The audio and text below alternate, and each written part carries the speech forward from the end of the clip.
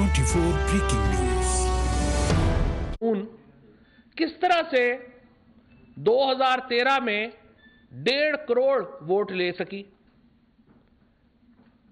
اب آپ فرما رہے ہیں کہ یہ انتخابات مینج کیے گئے تھے تو عمران خان جب یہ بات کر رہے تھے اور جب یہ کہہ رہے تھے کہ دو ہزار تیرہ کے انتخابات میں دھاندلی ہوئی پچھلے انتخاباتوں میں آپ کو جتوانے کے لیے دھاندلی ہوئی آج آپ کو یہ اعتراف یاد آ رہا ہے۔ آج آپ یہ اعتراف کر رہے ہیں کہ ماضی میں انتخابات کو رک کیا گیا مینج کیا گیا، دھاندلی کی گئی لوگوں کو، مرد من پسند لوگوں کو جتوانے کے لیے۔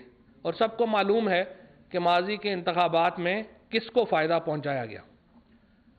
اس کے لیے آپ کا شکریہ۔ دوسرا، دو ہزار اٹھارہ کے انتخابات کو لے کر کے ابھی سے انہوں نے یہ شور مچانا شروع کر دیا ہے کہ عمران خان کو الیکشن جتوانے کی تیاری ہو رہی ہے۔ ابھی اکھاڑا لگا نہیں ہے اور پہلوان بھاگ گیا ہے۔ اب سوال یہ پیدا ہوتا ہے کہ آپ کیا لیڈر ہیں جو میچ سے پہلے ہی میدان سے بھاگنے کی تیاری کر رہے ہیں؟ آپ اپنی ٹیم کو حوصلہ دیتے ہیں۔ کپتان کا یہ کام ہوتا ہے، لیڈر کا یہ کام ہوتا ہے، اپنی ٹیم کو حوصلہ دیتا ہے، ساتھ رکھتا ہے۔ آپ نے پہلے ہی بتا دیا ہے کہ دو ہزار اٹھارہ کے انتخابات میں ہمیں شکست ہونے جا رہی ہے اور عمران خان کو جتایا جا رہا ہے۔ تو یہ دو اعترافات شامل ہیں۔ تیسرا نیریٹو جو مسلم لیگ نون کا اور نواز شریف صاحب کا ہے، وہ یہ ہے کہ اگر یہ نہ ہوا تو میں بتا دوں گا۔ اگر وہ نہ ہوا تو میں یہ بتا دوں گا جوڈیشری کو، فوج کو دھمکیاں لگا رہے ہیں۔ ہم تو پہلے دن سے کہہ رہے ہیں کہ بھائی آپ بتا بھی تو دیں۔ وہ اب ایک لطیفہ ہے پنجابی کا، پورا تو نہیں سنا سکتا پیمرا والے نوٹس بھجوا دیں گے۔ لیکن وہ اس میں آخر میں وہ مراسی کہتا ہے کہ ہون بھائی جان شکایت ہی لگے گی۔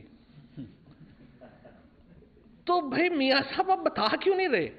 ہم تو پوچھ، ہمارے گلے تھک بیٹھ گئے ہیں۔ میں سٹیپسلز کھا کے بیٹھتا ہوں، گولی کھا کے بیٹھ رہا ہوں۔ ہم پی ٹی آئی میں شبلی فراز صاحب دورانی صاحب، ہمارے جو سپوکس پرسن، جو ٹیلی ویژنس کے اوپر آتے ہیں، اور عمران خان صاحب جو ہیں، ہم نے کو کروڑ ہا بار آپ سے یہ کہا ہے کہ بھائی بتا دیں۔ نہیں، اگر یہ نہ ہوا تو میں بتا دوں گا۔ پتہ نہیں کسی نے ان کے کان میں پھونک ماری ہے کہ جب ذوالفقار علی بھٹو شہید آئے تھے اور انہوں نے بات کی تھی کہ تاشکند کے معاہدے کی بات کی تھی، تو ان کو بھی کسی نے بتایا ہے کہ اگر آپ یہ تاشکند والا فارمولہ لے کے چلیں گے کہ میں بتا دوں گا، یہ فارمولہ بڑا چلے گا۔ لیکن میاں صاحب، اس کے لیے جو ماحول ہے، جو گفتگو ہے، وہ آپ کو میسر نہیں ہے۔ آپ مہربانی کریں۔ ہماری طرف سے آپ کل پریس کانفرنس کریں اور ایک بار آپ قوم کو بتا ہی دیں کہ کون سازش کر رہا ہے، ہمت کریں تاکہ ہمارا بھی کام ختم ہو اور قوم بھی جو ہے وہ کسی سیاسی تلاتم سے باہر آئے سکون سے الیکشنز کی طرف جائیں۔ دراصل قوم کا جو سوال ہے، جو ہم آپ کے سامنے رکھنا چاہتے ہیں، جو زیادہ ہم سوال ہے ہم سمجھتے ہیں، کہ آپ یہ بتائیں کہ تین سو ارب روپیہ آپ کی سولہ کمپنیز میں آیا کیسے؟ حسن نواز شریف کی کمپنی، کو، کوئنٹ انٹرنیشنل کو، ایف زیڈ ڈی کیپٹل کی طرف سے millions of dollar, F Z D capital جس کے آپ چیئرمین تھے دبئی میں، وہ کیسے ٹرانسفر ہوئے؟ ایف زیڈ ڈی کیپٹل تو کوئی کام ہی نہیں کر رہی تھی۔ اس کا تو کوئی ذریعہ معاشی نہیں تھا، ذریعہ بزنس ہی نہیں تھا۔ ایف زیڈ ڈی کیپٹل کے پاس وہ کروڑ ہار روپیہ کیسے آیا؟ اور ایف زیڈ ڈی کیپٹل نے وہ پیسے ہل میٹل اسٹیبلشمنٹ کو اور کوئنٹ کمپنیز کو کیسے ٹرانسفر کیے؟ پھر وہ پیسے مریم نواز شریف صاحبہ کے اکاؤنٹ میں کیسے نکل آئے؟ دراصل اب آپ کو علم ہے کہ تقریباً دو تہائی کے قریب جو پروسیکیوشن ایویڈنس ہے، جو استغاثے کی شہادتیں ہیں آپ کے خلاف، وہ مکمل ہو چکی ہیں۔ اٹھائیس فروری آخری دن ہے سپریم کورٹ کی دیگی بولت کا، جس میں آپ کے مقدمات کا فیصلہ ہونا ہے۔ چونکہ آپ کے پاس اپنے دفاع میں کچھ کہنے کو نہیں ہے، آپ کے پاس تین سو ارب روپے کا حساب دینے کو نہیں ہے۔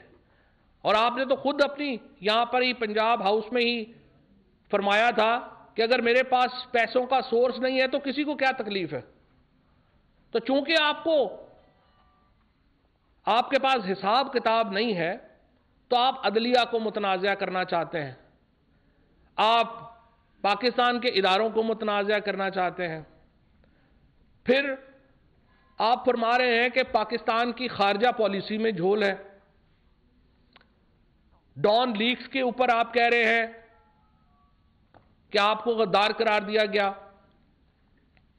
سوال یہ پیدا ہوتا ہے کہ اسامہ بن لادن سے پاکستان کے حکمران پیسے لیں، پاکستان کے سیاستدان پیسے لیں، یہ جھول ہے بڑا۔ عالمگیر شہرت کے حامل دہشت گردوں سے آپ کے روابط ہوں، یہ جھول ہے بڑا۔ اور چار چار سال آپ وزیر خارجہ نہ لگائیں۔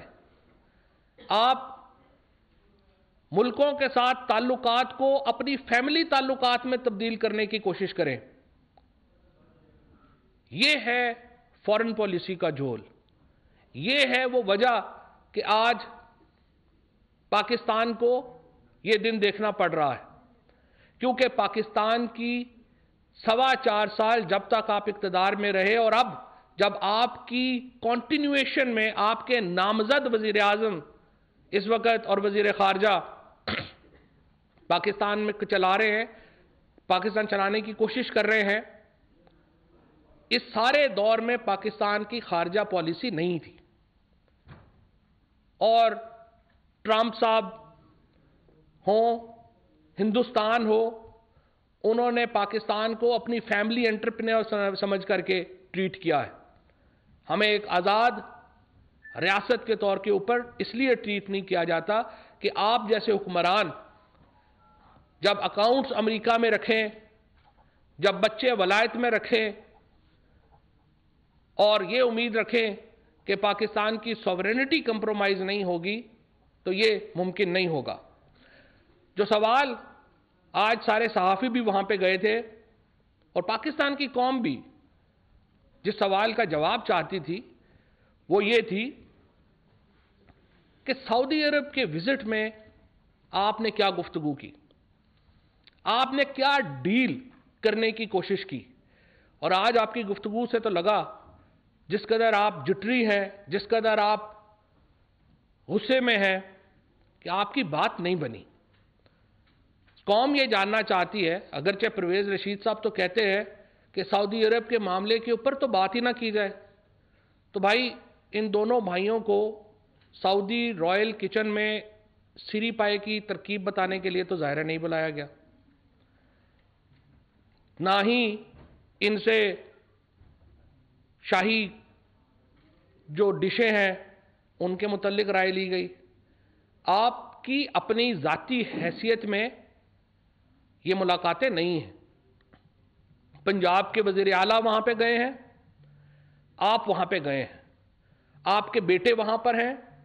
ہل میٹل اسٹیبلشمنٹ، جس نے آپ کو ارب ہار روپیہ بھیجا ہے، منی لانڈر کیا ہے، اس کا مرکزی دفتر سعودی عربیہ میں ہے۔ لہٰذا یہ قوم جاننا چاہتی ہے کہ نواز شریف صاحب اور شہباز شریف صاحب سعودی عربیہ سعودی جہاز کے اوپر کیوں گئے؟ اس سے ہماری دلچسپی ہے۔ اس لیے ہماری دلچسپی ہے کہ پاکستان کے عوام کے پیسے اس معاملے میں ملوث ہیں۔ اگر ہمارے پیسے نہیں ہوتے اور آپ کے ذاتی پیسے ہوتے تو پھر کوئی مسئلہ نہیں تھا۔ لیکن ان سوالوں کے جواب آپ نے نہیں دیے۔ سو ہمارے جو سوالوں کے جواب ہیں وہ وہیں کے وہیں رہ گئے ہیں۔ ہم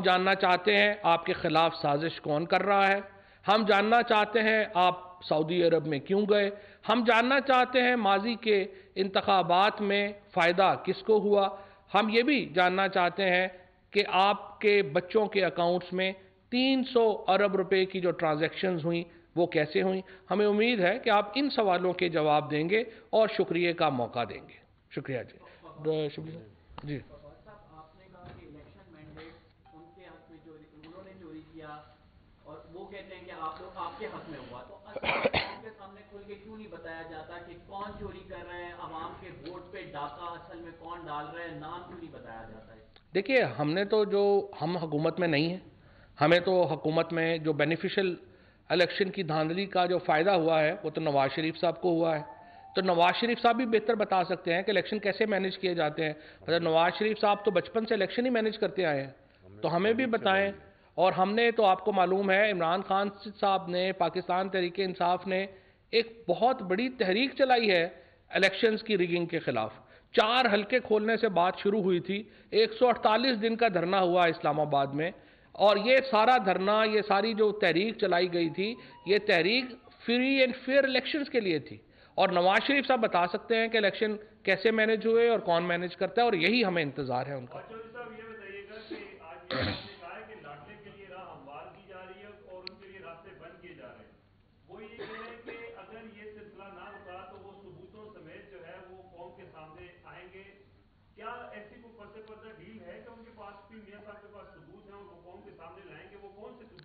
میں اور آپ اسی سوال کے جواب کا شدت سے انتظار کر رہے ہیں کہ میاں صاحب کے پاس جو ثبوت ہیں وہ قوم کے سامنے آئیں۔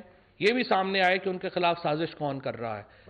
اور یہ جو روزانہ ہمیں جی ٹی روڈ سے یہ شروع ہوئے ہیں یہ پہلیاں بھجوانے یہ یہاں پر ہمیں آ کے بتائیں کہ ان کے خلاف کون سازش کر رہا ہے اس کے ثبوت ہیں وہ سامنے رکھیں۔ اور جس طرح سے میں نے کہا کہ یہ نہ کریں کہ اب ہون شکایت لگے گی اچھا سر یہ یہ بتائیے گا آج میاں صاحب نے کا- ایک نئی تصریح کی ہے انہوں نے کہا کاما کا مطلب ویزا ہے اور ویزا کا مطلب کاما ہے اور مجھے اس پہ نکال دیا گیا۔ آپ سے تو ہم سنتے ہیں کہ کاما پہ انہیں نکالا گیا ان کا یہ جرم ہے۔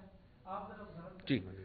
جو ایف سی ڈی کیپٹل ہے انہیں جو ٹیکنیکل وجہ ویسے تو اگر آپ پڑھیں تو ان کے اوپر تو بہت بڑے بڑے الزامات ہیں۔ جو ٹیکنیکل وجہ جس کے اوپر انہیں نکالا گیا وہ یہ تھا کہ ایک کیپٹل کمپنی ہے جو ایف زیڈ ڈی زون میں ہے یعنی فری زون فری جو زون ہے اس میں ہے دبئی میں۔ اس کا کوئی کاروبار نہیں ہے۔ کیپٹل کمپنی کا کوئی کاروبار اپنا نہیں ہے۔ لیکن کیپٹل کمپنی دو ہزار نو میں ایک ملین ڈالر کوئنٹ کمپنی کو ٹرانسفر کرتی ہے۔ اس کے ساتھ وہ پیسے ہل میٹل کو ٹرانسفر کرتی ہے۔ سوال یہ پیدا ہوتا ہے کہ ایک کمپنی جس کے نواز شریف صاحب چیئرمین ہیں، جس کا بظاہر کوئی بزنس نہیں ہے، اس کے اکاؤنٹس میں کروڑ ہا روپیہ کیسے آیا؟ اور وہ کروڑ ہا روپیہ پھر حسن اور حسین کے اکاؤنٹس میں کیسے گیا اور پھر انٹرسٹنگلی حسین کے اکاؤنٹ سے واپس نواز شریف صاحب کے اکاؤنٹ میں آیا اور نواز شریف صاحب کے اکاؤنٹ سے مریم نواز شریف کے اکاؤنٹ میں گیا۔ تو یہ جو سوال ہے جن کا جواب ضروری ہے۔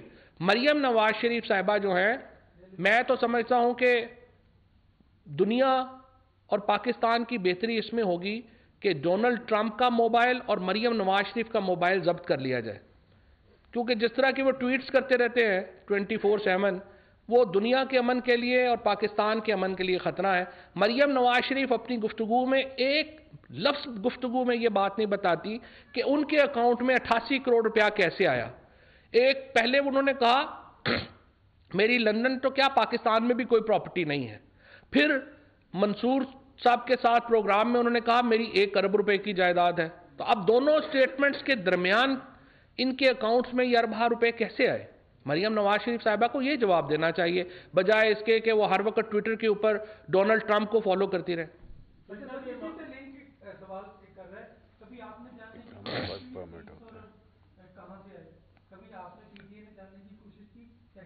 ہل سر ہل میٹل کارپوریشن سے جو پیسے تھے وہ نواز شریف صاحب کے اکاؤنٹ میں آئے۔ نواز شریف صاحب کے اکاؤنٹ سے یہ پیسے مریم نواز شریف صاحبہ کو گئے۔ تو پہلے نواز شریف صاحب کے پیسے دبئی کے اکاؤنٹ میں آئے۔ دبئی کے اکاؤنٹ سے یہ پیسے سعودی عربیہ کے اکاؤنٹ میں گئے۔ سعودی عربیہ کے اکاؤنٹ سے یہ پیسے واپس نواز شریف صاحب کے اکاؤنٹ میں آئے اور نواز شریف صاحب کے اکاؤنٹ سے یہ پیسے دوبارہ مریم نواز شریف صاحب کے اکاؤنٹ میں